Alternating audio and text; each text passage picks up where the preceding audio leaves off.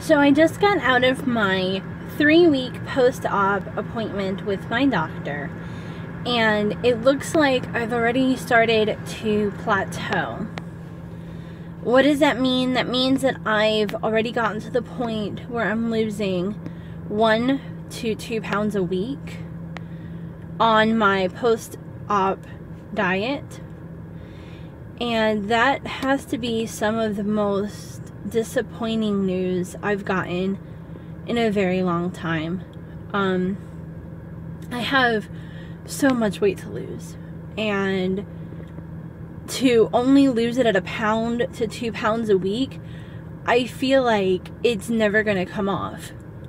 Now, don't get me wrong, I didn't go into this with unrealistic expectations. I didn't go into this expecting, you know, to wake up at 150 pounds or to lose 20 pounds a week. I knew the plateau was coming. I knew I would stabilize. I didn't know it would happen this fast.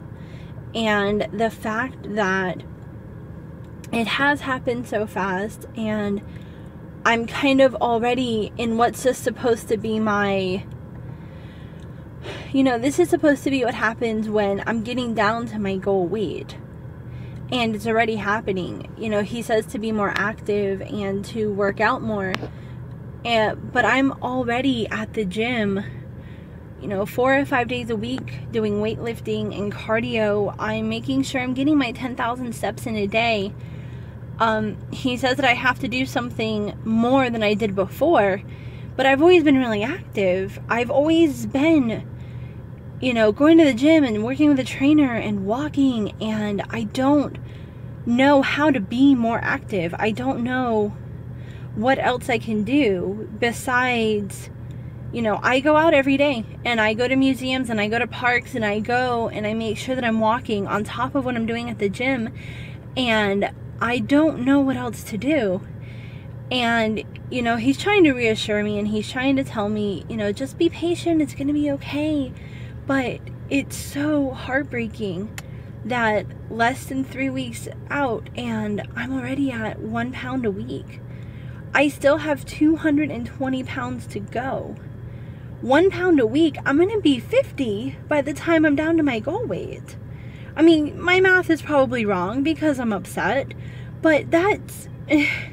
There's only 52 weeks in a year. If I'm only losing 50 pounds a year, I just, I'm really upset and I feel like I. I'm kind of starting to feel like I do after most diets that I went through all of this trouble and all of this hassle and I tried so hard and I'm just gonna fail. But I'm to keep trying. I'm to keep working at it because giving up is is stupid. And giving up is the best way to make sure that you have to keep starting over. So, I'm and honestly after surgery, giving up isn't really an option. you have to eat what they tell you to eat. And I enjoy going to the gym and I feel great when I get out of the gym.